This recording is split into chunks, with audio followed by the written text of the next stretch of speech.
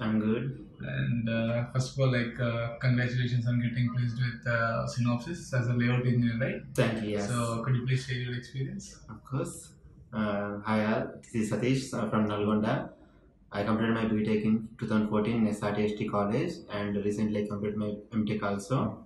After that, after that I got to know about there is only one VLSI institute. Sumedha is uh, giving VLSI training uh, in Hyderabad. So I came to this institute through some uh, dentist and some filtering process.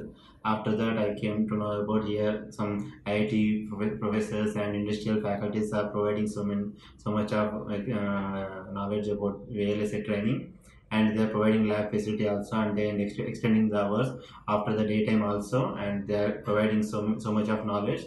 They are not only explaining the way the only subject, they are explaining the how to face the interviews, and they are explaining the how to improve your communication skills.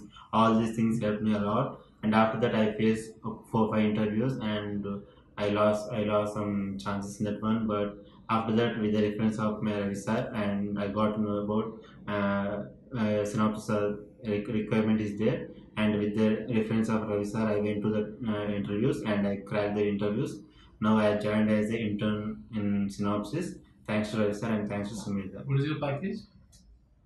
5.4 lakhs per annum Okay, that's a good package. I think Sumedha has opened uh, second branch in Yes. Nizampet, Hyderabad. So I think this is the best opportunity for the EC students. So don't miss the opportunity. Thank you.